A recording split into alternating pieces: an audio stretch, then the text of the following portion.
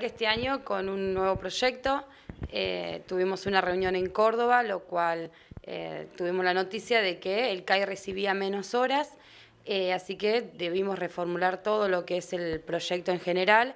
Este año tenemos tres talleres, el año pasado teníamos cinco, pero comenzamos con el taller de huerta, que junto con el ingeniero agrónomo Adrián Testore y la profesora Nerina Tardito, eh, comenzamos con un microtúnel eh, para la elaboración de, todos los vegetales, que el año pasado, al estar eh, sembrados en el suelo, nos parecía que no crecían y tuvimos un par de dificultades, y este año apostamos a ese proyecto junto con la cooperadora y la institución, que es una de las grandes fuertes que tiene también este CAI, porque si bien recibimos un fondo, tenemos el apoyo de, de esta institución para poder seguir adelante este programa.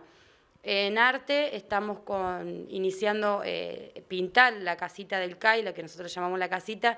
Los chicos eligen un dibujo eh, y vamos a darle un blanqueamiento y comenzar de nuevo ese espacio.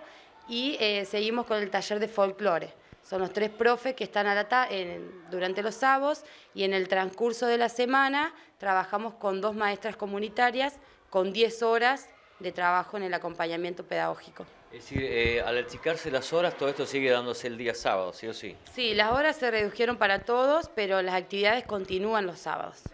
Eh, se puede hacer hincapié en lo que más importa, digamos, por, al tener menos horas, ¿no?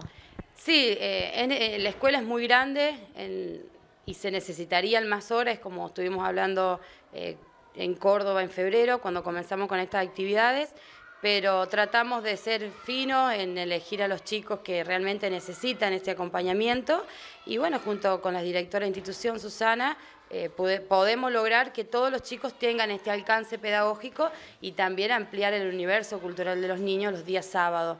Eh, la verdad que comenzamos el 7 de abril con un número de chicos muy lindo, eh, alrededor de casi 70 niños, y hasta ahora estamos manteniendo la matrícula eh, pese a las lluvias. O sea, quiere decir que también los talleres fueron eh, trabajados y, y arreglados para que sean atractivos para ellos.